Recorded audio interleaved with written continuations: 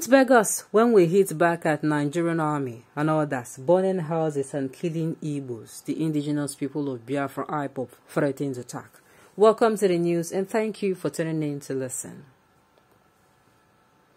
The Prio Biafra group said the affected persons were victimized because they were sympathizers or Igbo members of the indigenous people of Biafra. It is no longer news that a certain part of a country, the southeastern region, is gradually turning to another Borno in the southeastern part of Nigeria. Courtesy of what I call the military, the military, or will I say the security operatives have their own share of the blame. Then there is unknown gunmen. Then there is max gunmen. All against the people. All I'm saying is the people are the ones suffering. They say when two ele elephants fight, what happened? It is the ground that will suffer. That's exactly what is happening in the region. People die on a daily basis. Not natural deaths. People are killed.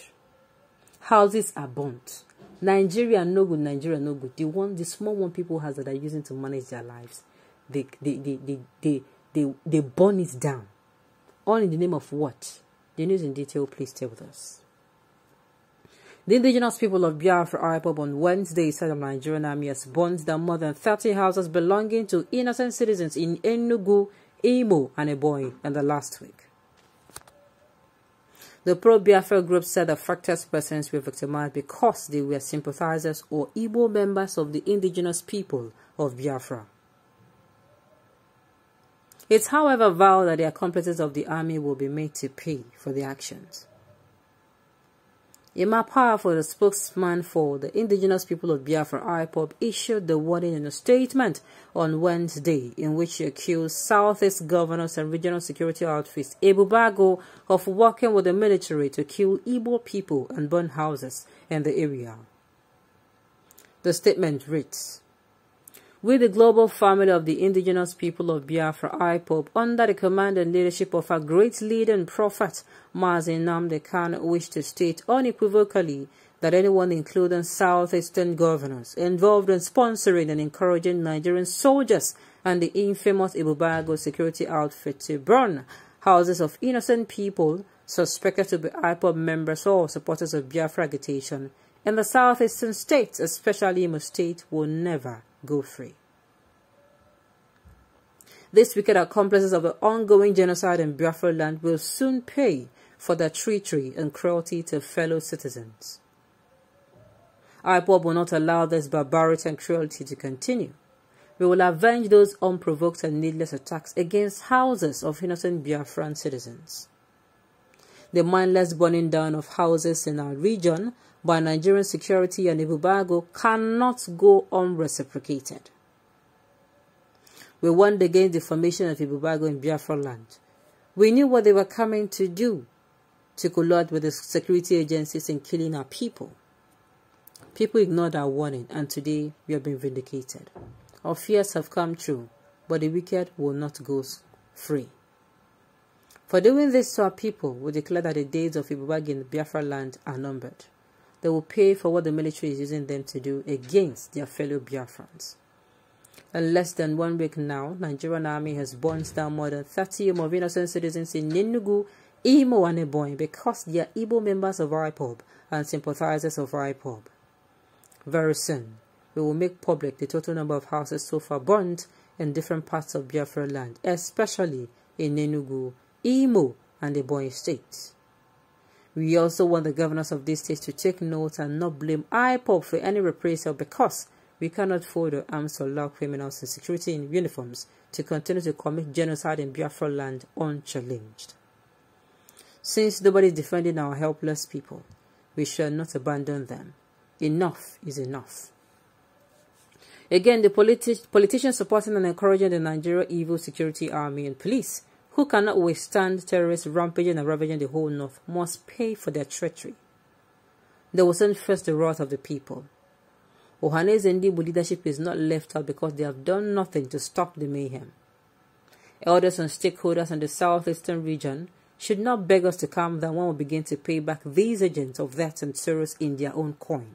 Instead, they should tell the army and police to stop burning down people's properties now. By the time we shall begin to reciprocate these atrocities, we will not listen to anyone. We were aware that Nigerian government and the security agencies have concluded arrangement to introduce the IDP as in the case in the north, but they will not succeed. Southeastern governors must rise against this barbarity if they have no hand in it. There is nowhere in the north where innocent villagers are invaded by security agents and their houses are set on fire. Calling the attention of foreign missions in Nigeria to put the alleged genocide in Imo State, IPOB said, We are putting the world on notice, particularly the American Embassy in Abuja, British High Commissioner in Abuja, Israeli Ambassador in Abuja, Russia Embassy in Abuja, French Embassy in Abuja, India Embassy in Abuja, and Canadian Embassy in Abuja of this ongoing genocide. They should take note because IPOB will not tolerate this burning down of our communities anymore. Nobody should blame IPOB if we decide to defend our ancestral land against these genocidal attacks. What I will say about this is you remember my slogan now there is a limit to what people can take. Some people will come out and say, oh, the Northerners have been en enduring the attacks for... The Northerners wants to bear. The day the Northerners will come out and say enough is enough, I tell you, see whatever is happening in their land will come to come to halt. The day they tell themselves, ah, Mamumu don't do. This Boko Haram people, it is looking like they are doing us. The more you look, the less you see. That day, this issue of Boko Haram will be reduced to the barest minimum. The Southeasterners it is not today that they have started screaming out. Nigeria is not good. Nigeria is not working. Things are not working out for people. Then you go and burn people's houses. The recent development about this is actually, I think it happened, is it in Enugu or in Imo State, where they said um, some military men, some men in military, uh, um, some men in uniforms came in, a, they said they came in a Hilux or cars and they looked for a particular person because the person was not around. Okay, the person you're looking for is not around. You don't even know his house. His house. You went and burnt houses belonging to his brothers and neighboring compound. And you will go home, they will serve you food. You will eat. You will now go bathe and have your bed and have your sleep and have your sleep, right? Peacefully. In your mind, it is going to be well with you. Posterity will not be kind to you. They say garbage is in, garbage out. The only people I can say in this kind of a situation is when soldiers, you know, they are actually in war front and this kind of things happen. Then, you know, the soldiers, they are only fighting and making sure there is peace in the state. But in the case where there is actually no prompt, no need for the attack and it happens, I've said my own. Oh. The Southeasterners, they have told the people that, not that I'm supporting violence, but what do you expect these people to do, even in the northern region? What do you expect them to do, especially when they have called and cried and wailed and asked that the government should help them and nothing will happen? What will happen is that people will turn and you start defending themselves. And then, by that time, their ears will be clogged. They will no longer listen to whatever solution you are going to be wanting to prefer to them. Okay, on this note, we've come to the end of the news. We say thank you for tuning in to listen. Until I come your way next time, enjoy the, the rest of your day.